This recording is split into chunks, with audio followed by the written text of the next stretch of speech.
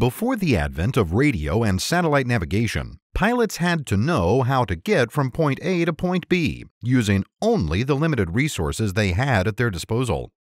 Those resources typically consisted of a chart, a magnetic compass, a clock, and the ground below them. Using just those tools, pilots could navigate thousands of miles and arrive at their destinations on time and with little deviation from their intended route.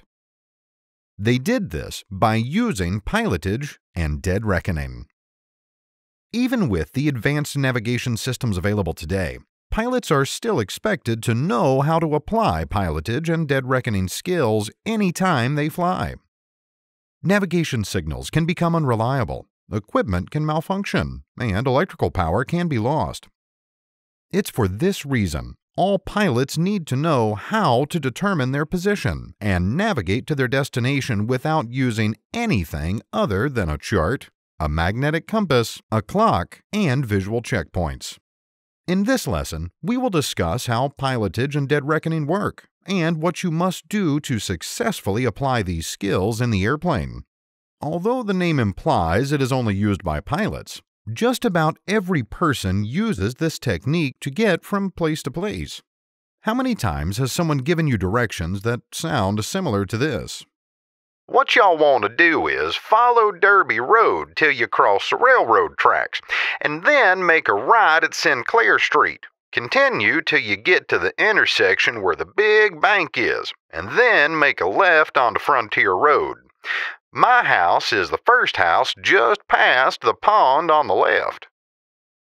By using street names and landmarks to help you navigate your way to the destination, they are essentially providing you all of the information you need to know to find their house. This is the most basic form of navigation there is. Pilots use the same technique to get where they want to go, but from a slightly different perspective. Pilots can't read street signs, but they can still use prominent landmarks and major roads to guide them where they are going. Armed with nothing more than a VFR sectional and clear skies below, a pilot should be able to navigate to any airport of their choice. Here's how it works.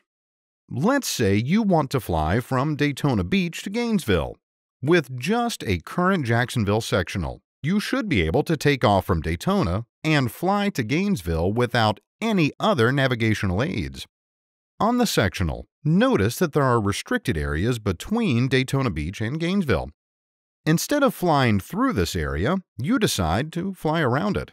To do that, you determine that the best course would be to fly towards Palatka Larkin Airport and from there, head west. Keep in mind, the key to pilotage is selecting checkpoints that will be easy to see from the air. You'll also want to select checkpoints that are spaced out an appropriate distance from each other, so you can check your progress as you go. Selecting points that are too far apart could allow you to wander off course. If you are flying strictly by pilotage, you should be able to see the next checkpoint from the one preceding it.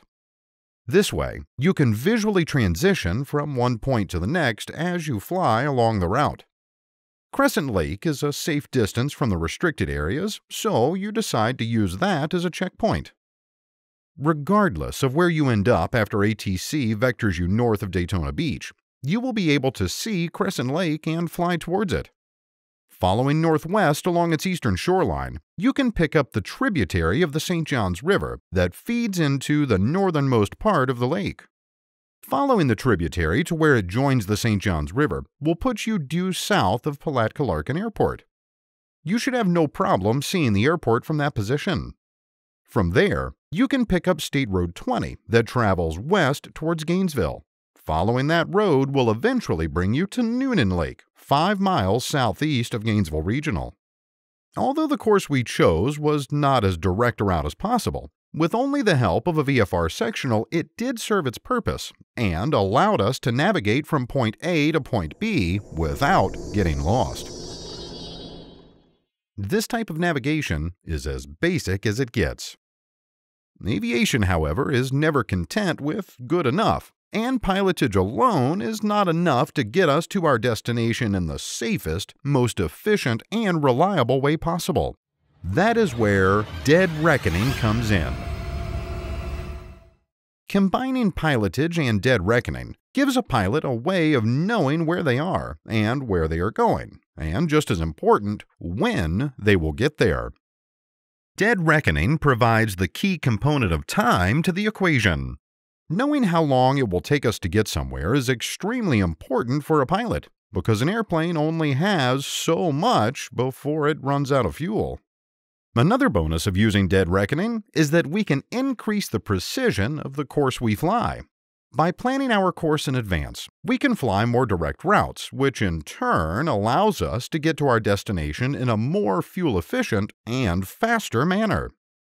It also lets us know if something isn't going as planned, and could give us an early indication of a potential problem. So, what exactly is dead reckoning? Dead reckoning is the process of estimating your position by advancing a known position using course, speed, time, and distance traveled. In other words, if you know the course and the speed you are traveling, and then take your time over a certain checkpoint, you should be able to estimate your arrival time at your next checkpoint. All you need to know is the distance to that point. It also allows you to compare your pre-flight performance calculations to your actual in-flight performance. If you calculated that your ground speed would be 120 knots, but your dead reckoning shows that you are only going 100 knots, well, then you know something is different than what you planned for. Or, if you calculate that a particular heading, flown at the speed you are traveling, will have you arriving at your next checkpoint in 15 minutes, but find that it only took 13 minutes to get there, then you know the wind speed has changed from what you planned for. Dead reckoning will also let you know whether the heading you are flying is correct for the route you plan to travel. Your position in relation to the checkpoint can also provide more information about the wind. If you arrived at your checkpoint and find yourself left of course, then there is a good likelihood that the wind has shifted from what was forecast and requires a change of heading to hold your course. Using this new information will enable you to make a more accurate time estimate to your next checkpoint and allow you to better compensate for the wind.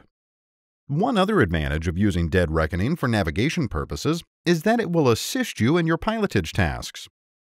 It's not always easy to find prominent landmarks that you can see clearly from a great distance. By using Dead Reckoning, you have an estimate of when you will arrive at the next checkpoint, so you know when you should be looking closely for your point. When flying cross countries at Embry-Riddle, you will always use a navigation log. The nav log is designed to allow you to input your pre-flight planning for the flight, along with all of the checkpoints you plan on using. The performance calculations you come up with prior to the flight will provide estimated ground speeds and headings to fly to reach each checkpoint. Once in the air, you will use the navlog to verify your performance and modify your planned headings and power settings as necessary. The navlog requires the use of both pilotage and dead reckoning. You will use pilotage to keep track of where you are, and you will use dead reckoning to better estimate when you will get to where you are going. When used together, pilotage and dead reckoning allow you to fly your route as safely and efficiently as possible and will keep you thinking ahead of the airplane.